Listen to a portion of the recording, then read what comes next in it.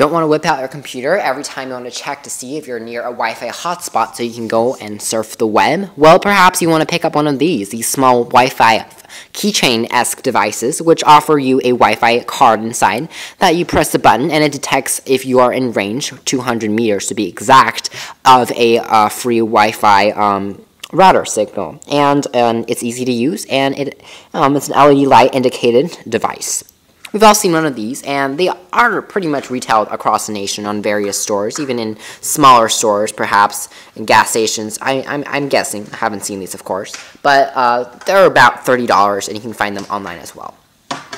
First of all, I would like to say that I think that these keychains are a little bit of a waste. When there's tons of feature phones and basic phones out there, and devices that actually have screens and processors inside that don't even have Wi-Fi, and computers and some laptops, cheaper ones, don't even have Wi-Fi because it's kind of expensive. And here are these dead, um, standalone keychains that can only find you if there's a Wi-Fi network nearby, and um, for so cheap, so it kind of makes me a little bit mad. But let's stay on the product itself. It's made entirely out of rubber. This is by Key Accessories, this particular model. It's made out of the soft touch material, which is grippy and easy to use.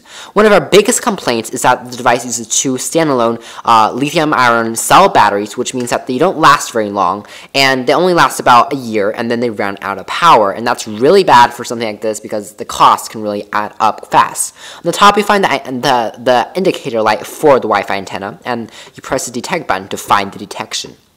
Now the first thing we have to say is that we don't like this device's actually LED indicating design. As you can see, there is a whole caliber of connection uh, button, uh, connection LED indicators. You might think that this is a signal strength, and that is correct. Um, depending on how strong it is, it will light up green, but if you can't find a signal, it will also light up and blink red.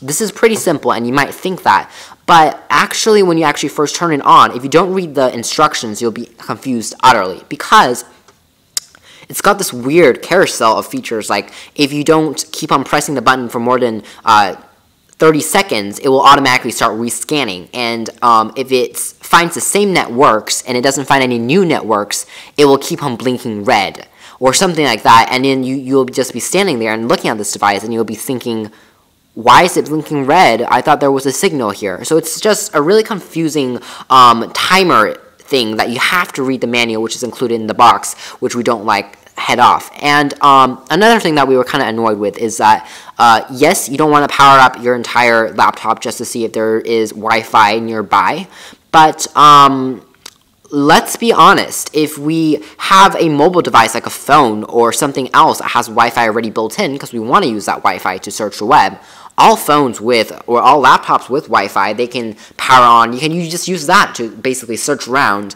and it's not like um, okay, I find a router nearby, and then I turn on my computer. Other than I can keep my computer turned on for the entire time, um, unless you're walking around, of course, the park for a long time. But we're talking about if we're in an airport or if we're in the mall and we should maybe just use a mobile device, a phone, to find it instead of this. So the functionality is kind of repetitive, I guess is what I'm saying. So because of the functionality repetitiveness and the fact that the design isn't super well executed, this model in particular doesn't make that much sense for us to purchase. Perhaps there are other uses that you guys may find. Um, please read our full review on OS and VTX reviews. This is a Key Accessories Wi-Fi antenna receiver.